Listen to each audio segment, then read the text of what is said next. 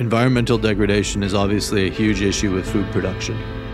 We need to solve problems in our food chains that are causing deforestation, massive water usage, huge energy input to get relatively little energy output. What if the solution to such damage is found in thin air? I'm Oliver Truesdale. I launched a company with Lo & Behold called Regrowth, which is focused on sustainable hospitality. I also head up the F&B Sustainability Council in Singapore. And I'm Mirko Febbrile, currently chef partner at Lo & Behold for FICO. All right, guys, so today we're doing a little bit of R&D. Brand new protein called Solein. It's a microbial protein, so super high efficiency. Check it out. Also very colorful, which is kind of cool. Yeah, where's the color from? Carotenoids, beta beta carotene, same color as carrots, but uh, it's from the microbe itself, so all natural source. Mmm. It's nutty and buttery, creamy. It's fatty, for sure. Like nuts. Yeah. All right. So in terms of menu, what are we thinking? I think by tasting it, it it feels like it's, it's quite versatile. It seems like it. And if I think about butter, dairy, eggs, we can really work on replacing it. Thinking about maybe some local uh, twist to it. Yeah, Singapore inspired. Yeah. Yeah. I think when you were talking about egg, I was like, oh, salted egg. Salted egg. Salted egg could be really fun, and that's Absolutely. super Singaporean. So that we keep the idea that it's like protein replacement. Yeah. How about like a, a dessert? Um, Ice cream comes to mind for sure. Yeah. Like I think, but I think doing it really pure, like having one course because we're gonna have courses where it's heavily manipulated, one course where it's just like pure. Yeah. Uh, I was also thinking about a pesto, Yeah. like a like a rempah, like with coconut milk, lime, chili, thick Yeah. pasta, and then adapt it and change it to Singapore. yeah, yeah. Um, I love it. that. Yeah? Yeah, yeah. With local herbs. Yeah. Yeah, sweet. All right. Excited. Yeah, let's have some fun. Today we do a Singapore version of the Italian pesto. So we're gonna use laksa leaves, Indian borage, basil of course. There's this beautiful bronze fennel. They're all herbs that are farmed here in Singapore. You know, I was thinking like the creaminess of it, what we do with lecithin, think about like a curry. We have a beautiful uh, emulsified paste. Okay, we're done. Singapore pesto. So now we can taste it. How fresh is that, right? I like the idea of a product that at once can be responsible and could find itself in situations where you're helping like disaster stricken areas, but also could find a place at a fine dining table. Because there's not many products that like bridge those gaps. And so it'll be healthier for people, it'll be healthier for the planet. We're gonna play with it as a miso kind of allegory as well. So like maybe mixing it in miso soup in like half the percentage you would usually mix miso and see how that goes.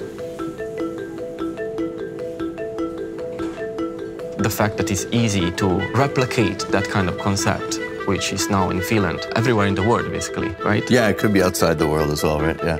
We were discussing it as like maybe space travel that required just like air and electricity to uh, generate nutrients. But also, yeah, deserts or really mountainous areas or places that don't have a lot of arable land, they'll still have access to the inputs needed to produce Solein.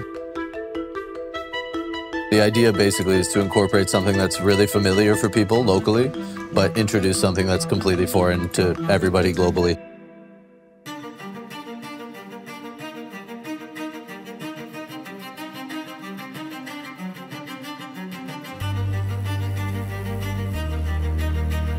First public tasting of Solein, which is really exciting. We get to see people's faces when they eat the food and like catch some reactions and see how people kind of feel about the category as a whole, which is really fun.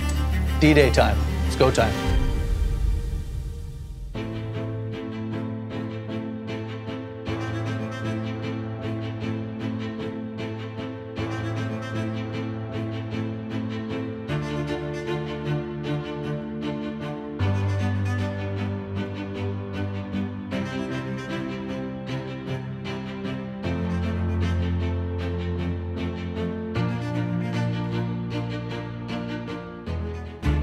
Hello, everybody. I'm very happy to be here and I'm very happy to see you all. My fellow ambassadors then asked me, Can you explain a little bit more what that all is and how it's produced? You need thin air, you need some electricity, then you need some wise scientists, and then it becomes magic. They have been satisfied with my explanation so far, but I'm very excited to be here. Thank you very much.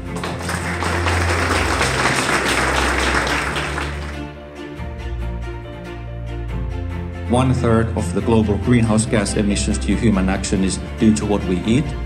How solar food differs is we are disconnecting food production from agriculture completely. We are going to make history by tasting Solein for the first time.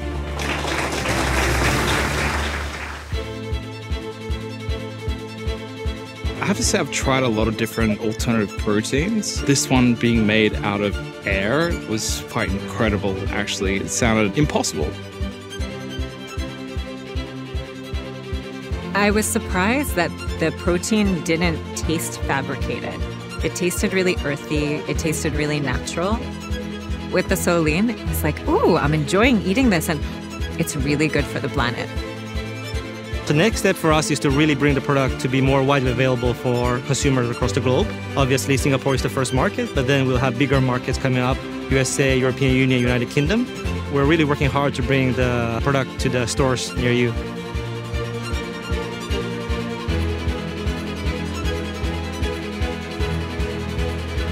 Overall, I see it very promising. This is some uh, sort of a paradigm shift going on in the in the food business, and I can see that this company, this type of food, is very much contributing to uh, Singapore's 30 by 30 goal.